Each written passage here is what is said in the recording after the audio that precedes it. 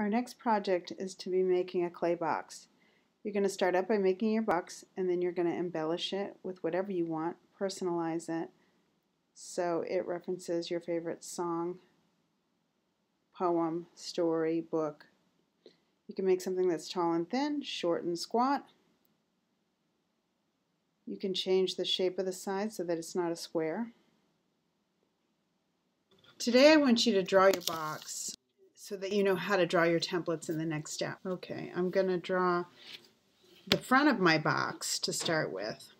In the front of my box, I'm going to make just a regular square, which is an option. Then I'm going to draw the back of the box, which is going to be another square, and I'm going to offset it so that it's slightly to the right and slightly above the first square. So I've drawn the first square here and the second square is slightly to the right and slightly above.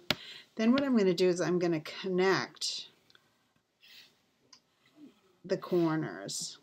And I'm only going to do these three because I don't see that. When the box is solid, I'm going to erase out these three lines right here. Okay, like so. Then I could put some sort of handle on top. I'm going to do the line where I'm going to cut the lid off from the box, kind of like this. Then I'm going to take it up the other side. And then I could go, go on add a foot to my box. Okay, so there's a very simple box that you're going to draw.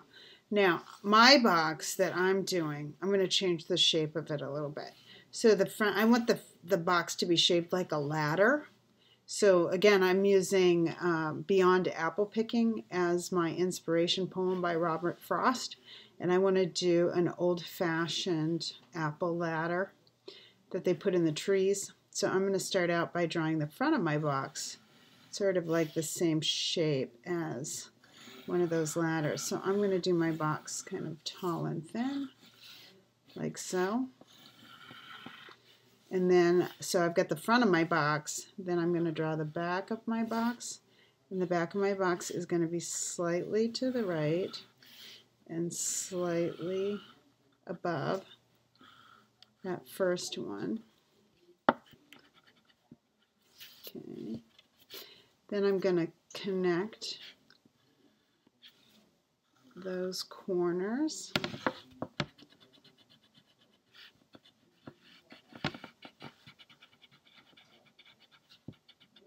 Like so.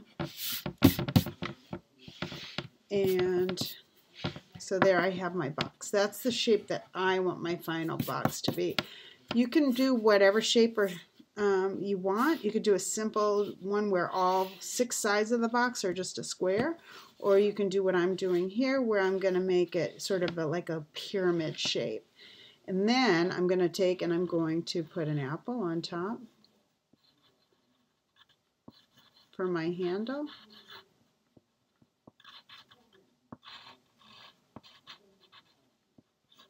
Okay, because I want, so I'm going to put a, a little apple top. And then on the side, I'm going to add coils or carve. I haven't decided which one.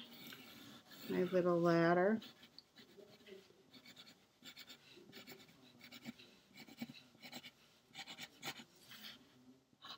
So I'm going to have a ladder on one side of my box.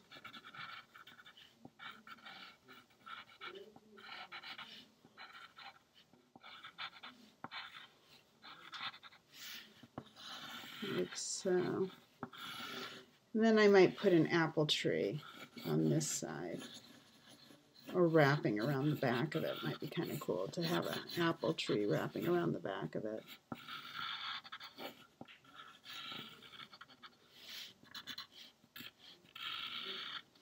Again, I want to be able to see your box because that's how I'm going to help you and guide you to making your templates.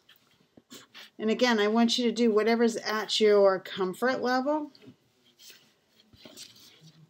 so if you want to take on something that's a little bit more complicated, go ahead. Or if you want to keep it simple, keep it simple. Um, but I'm going to help you make your templates so that once once you make your templates, the box will be really easy to make. The last thing I want to know is I want to know approximately how big you want your box to be. And I don't want you to go terribly big on this. So you're going to grab a ruler and figure out what your measurements are going to be. I want your height measurement and your depth measurement on the bottom. So how big it is from here to here. So let's say I want to make that 4 inches by 4 inches. So this bottom piece is going to be a square. And then the side pieces I'll do maybe 7 or 8. Uh, let's go for, I'm going to go for 8 inches. And I'll get an idea of how big that is when I go to make the templates.